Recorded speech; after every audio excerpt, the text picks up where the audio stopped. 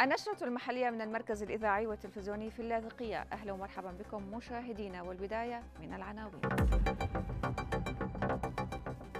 محافظ اللاذقية يلتقي رئيس البعثة الدبلوماسية النمساوية بدمشق. زيادة طلب واحد على مخصصات محافظة اللاذقية لصالح وسائط النقل. إعادة العمل في الصومعة المتوقفة في مرفأ طرطوس من قبل المؤسسة السورية للحبوب. انخفاض بدرجات الحرارة لتصبح أدنى من معدلاتها وفرصة لهطول زخات مطرية.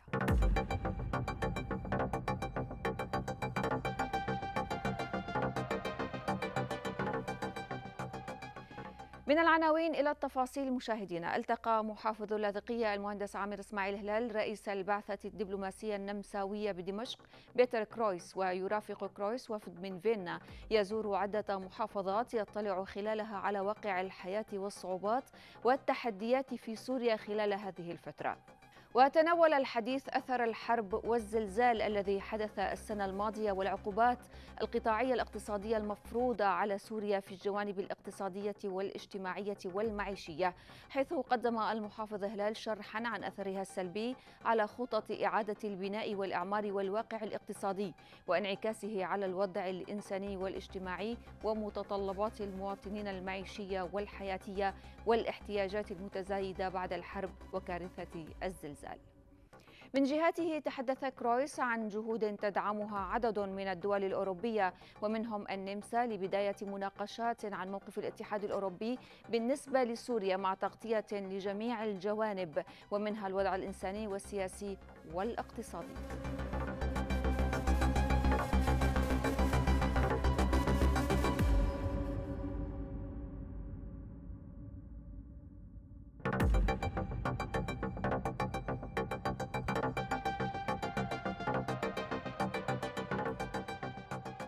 عضو المكتب التنفيذي لقطاع التجارة الداخلية والصناعة والمحروقات الدكتور معلى إبراهيم زيادة طلب مازوت واحد على مخصصات محافظة اللاذقية وسيتم تخصيصه لدعم قطاع النقل العام.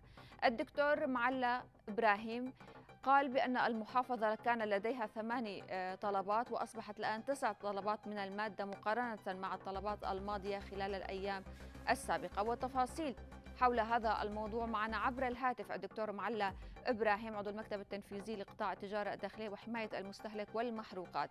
دكتور معلى مرحبا. أهلا وسهلا فيكم. أهلا وسهلا فيك. أهلا. دكتور معلى لو سمحت يعني اليوم نحن عم نشوف يعني المعاناة الكبيرة للأهالي وكل الناس عم تسأل اليوم زاد طلب من مخصصات محافظة اللاذقيه وهذا الطلب حول اليوم فقط لوسائط النقل. نحكي عن هذا الموضوع لو سمحت. إن شاء الله يعني هاي باشرة خير مثل ما بيحكوا وان شاء الله الأيام القادمة تكون تنتهي الازمه نعم. مثل ما ما موعودين إن شاء الله قريبا قريبا. طبعا مثل ما حكيتي ست مرات كان عندنا ثمان طلبات هلا صاروا تسعة. طبعا هذا الطلب مهم جدا.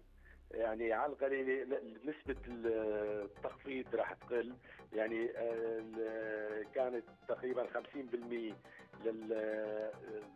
للخطوط الداخلي مثل ما حسبناها صارت لنا 30% وإن شاء الله وإن شاء الله الأيام القادمة والوعد إن شاء الله قريبا تنحل هالأزمة.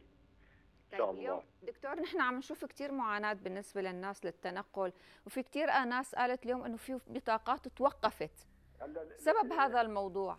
ست مناهي هذا خلل فني مركزي. ونحن طبعا هلأ تمت المعالجة قبل ما نحكي مع بعض من ربع ساعه تمت المعالجة في معظم الخطوط طبعا ويتم التواصل طبعا بشكل لحظي مع إدارة GPS في وزارة النفط لأنه الموضوع كان مركزي وعندهم طبعا وعم نقوم نحن بجولات ميدانية أنا وزميلي الأستاذ دريد في عضو المكتب التنفيذي المختص بالنقل لتقديم حلول سريعة في هذا الموضوع إن شاء الله إن شاء الله تكون ملموسة خلال الأيام هلأ نحن من فترة شفنا اجتماع آه، اليوم للجنة المحروقات وهو اجتماع استثنائي بطلب من السيد محافظ اللاذقية للاطلاع على الواقع نعم. بشكل عام سواء كان من قبل أعضاء المكاتب التنفيذية المختصة بهذا الموضوع. اليوم هل هناك اجتماعات دورية للاطلاع على الواقع وخاصة معاناة المواطنين وهذا ما يشغل اليوم المعنيين لازم في المحافظة؟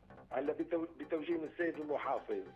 آه نحن بشكل بشكل ساعي مجتمعين مشان حل هذه المشكلة. نعم. طبعا من من يوم من يوم 12 الشهر لما اجتمعنا بشكل استثنائي وقررنا التخفيض. طبعا نحن ما قررنا التخفيض آه، لكونه لازم نعمل تخفيض. ولكن الكتلة الكتلة المخصصة للمحافظة خلال أربع خمسة أيام انخفضت أربع طلبات. فلذلك كنا مجبورين.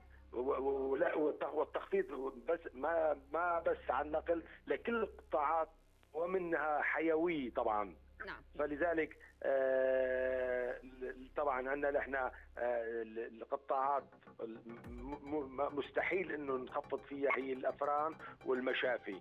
وما تبقى آه قمنا بالتخفيض تقريبا المتساوي على جميع القطاعات منها الحيوي منها المياه منها منها الاتصالات في منها كله صار في تخفيض بهذه النسب طبعا 30 ل 50% شكرا كثير لك دكتورة معلى إبراهيم. وإن شاء الله تتحسن الأمور بالأيام القادمة بما يعود بالنفع على المواطن. خبركم خبر إيه، كويس وبترجع المخصصات كما كانت عليه قبل التخفيض. إن شاء الله. شكرا كثير لك دكتورة و... معلى إبراهيم. عضو المكتب التنفيذي لقطاع التجارة الداخلية وحماية المستهلك والصناعة والمحروقات. شكرا. لك. شكرا.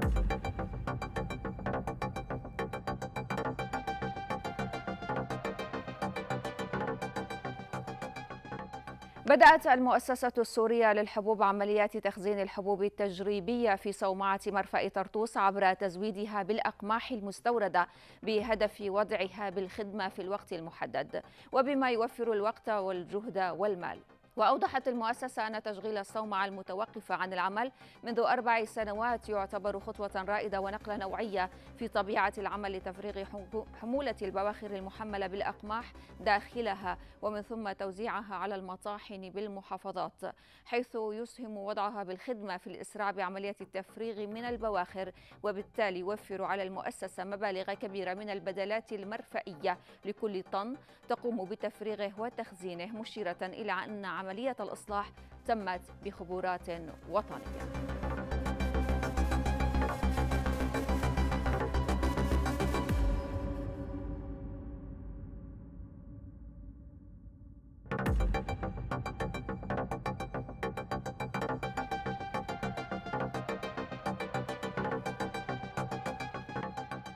انخفاض بدرجات الحرارة بحيث تصبح أدنى من معدلاتها بنحو 2 إلى 4 درجات مئوية ونشاط على سرعة الرياح حيث تتجاوز سرعة الهبات أحيانا 70 كيلومترا في الساعة خاصة في المناطق الجنوبية والوسطى والساحلية وهطولات مطرية على شكل زخات عشوائية تتمركز في الساحل مع استمرار فرص لهطول المطر في المنطقة الساحلية مع أجواء خريفية معتدلة بين الصحوة والغائمة جزئيا. في أغلب المناطق.